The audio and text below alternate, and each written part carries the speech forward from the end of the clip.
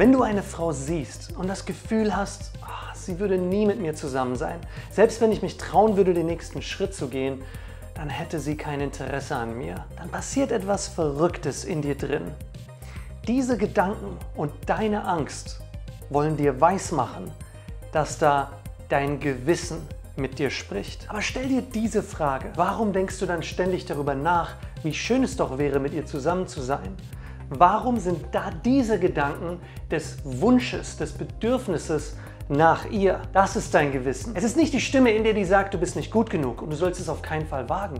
Es ist die Stimme in dir, die sagt, dass du es verdient hast, dass du schon längst gut genug bist. Und ich weiß, manchmal hören wir diese positive, diese unterstützende Stimme viel zu leise. Wir sollten uns alle öfter Dinge trauen, die uns Angst machen. Dinge, die, sobald du dich getraut hast, dich wirklich lebendig fühlen lassen. Wir machen einen Riesenfehler, wenn wir unser Gewissen verwechseln mit unserer Angst oder unseren Ausreden. Du weißt, dass es das Richtige wäre, zu deinen Bedürfnissen zu stehen.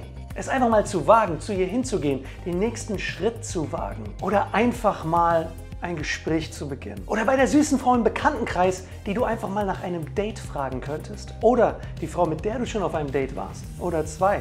Aber dich einfach nicht getraut hast, dein innerliegendes Charisma für dich spielen zu lassen und das Ganze aufs nächste Level zu heben. Das weißt du instinktiv, weil wenn du das tun würdest, dann würdest du nicht auf deine Angst hören. Du wärst in solchen Momenten größer als deine Angst.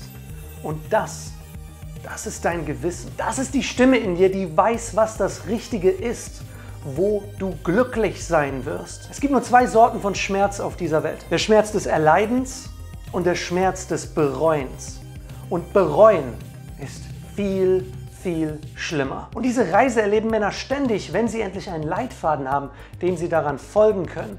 So wie dieser Mann hier in meinem Coaching-Programm. Und dann hat sie tatsächlich irgendwann dann, äh, wie hier im Laufe des Gesprächs erwähnt, endlich ein Mann auf Augenhöhe. Dann habe ich ähm, halt gesagt, Mädel, lass uns halt erstmal so sein, wie wir sind und beim jeweils äh, anderen entfalten. Dann habe ich eine tief, tiefgründigere Frage gestellt und dann hat sie mir, ohne dass ich gefragt habe, hier ihre äh, Nummer gegeben. Wirklich nochmal ein Dank aussprechen an Andy. Ihr habt vielleicht schon gemerkt, meine Aussprache ist jetzt nicht so oder halt ist manchmal holprig einfach. Es liegt daran, ähm, dass ich äh, Stotterer bin. Bei ihr er läuft tatsächlich sehr gut. Wenn du endlich wissen willst, wie du dein inneres Charisma nach außen tragen kannst, sodass Frauen es ebenfalls sehen und dich mit diesem strahlenden Blick anschauen, dann komm in unsere kostenlose Flirt-Typ- und Charisma-Analyse. Hier ist der Link. So, und jetzt stell dir mal vor, da steht diese Frau. Sie schaut umher, hat schöne dunkle Haare, große, offene Augen, ein hübsches Kleid an. Und du weißt, du könntest hingehen und mit ihr ein Gespräch anfangen. Über den Bus, der sich gerade verspätet hat. Oder gleich dass sie dir gefällt. Aber du hast diese Angst. Ich habe mal ein Sprichwort entdeckt, das zum Glück mein Leben in die richtige Richtung gelenkt hat und das in super vielen Fällen und das nicht nur bei Frauen. Die Angst ist ein Kompass.